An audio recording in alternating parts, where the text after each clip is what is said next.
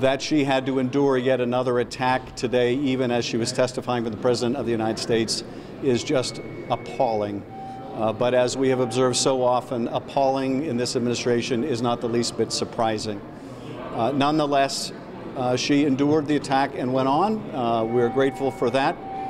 Um, but it is quite clear that, I think from her testimony as well as others, that Rudy Giuliani and the president felt it was necessary to get her out of the way.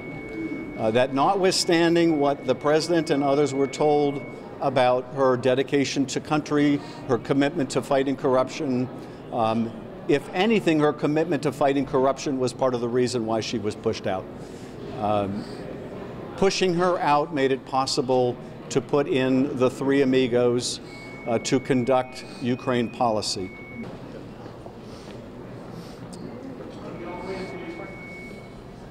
This is a part of a, a pattern to intimidate witnesses.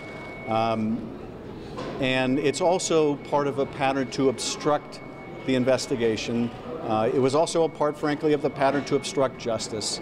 Uh, and so we need to view the president's actions today uh, as part of a broader um, and incriminating pattern of conduct. How would you describe how this has advanced over the first, now that the two days are in the books? I think I was interrupted about six times uh, throughout the hearing. So this is just more of the ridiculous abuse of power that we're seeing from Adam Schiff. I think one of the most important facts that came across today Ambassador Yovanovitch testified that the president can appoint ambassadors at will. That is important. Um, the president has a right to pick who his or her ambassadors are.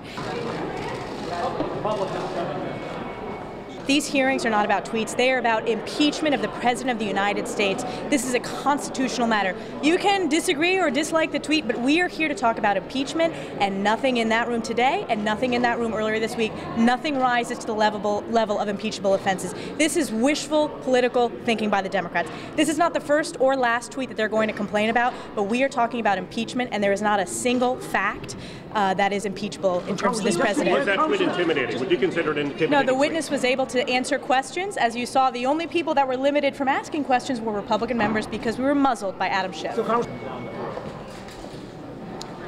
Well, uh, excuse me. I don't know that it was an attack on the witness. It was it was really a characterization of, of her resume. And when when you look at this, when you look at this, you guys want him to go in with no attorneys, no witnesses, no Twitter, no anything. You know, at some point you got to say when is it going to be a fair process? And today was not a fair process in there. It's not going to be a fair process in the bunker that we're about to have to go to. And it was not a fair process when they muzzled the gentlewoman from New York over and over again. It's not fair.